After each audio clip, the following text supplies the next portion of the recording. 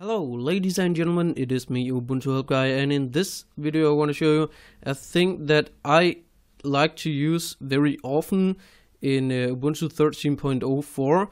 Uh, I like to call it window spread or spread window spreading windows whatever. So you can do this in uh, CCSM but I'm not gonna use CCSM. In uh, this video I'm gonna use an application called Unity Tweak Tool if you don't have Unity Tweak tool, then uh, you can easily go to the Ubuntu Software Center and uh, install Unity Tweak tool from there. Now, when you open Unity Tweak tool, you need to go to Hot Corners, all right?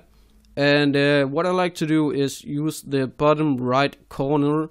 So um, obviously you have to enable the hot corners and then uh, the bottom right corner, select Window Spread uh, actually window I believe Windows spread and spread all windows. That's basically the same.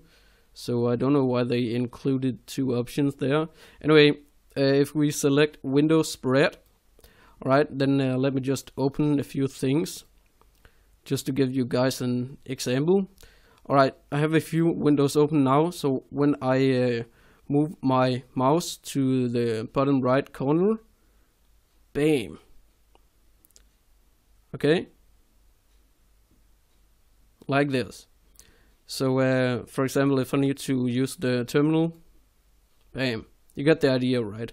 So uh, that's basically it. All you have to do like I said is uh, install Unity Tweak tool. If you want to you can do it other ways but I like to use Unity Tweak tool and uh, then just select Windows or Windows spread in uh, the uh, Hot Corners tab. Thank you guys for watching, have a nice day, and I will catch you guys in the next one.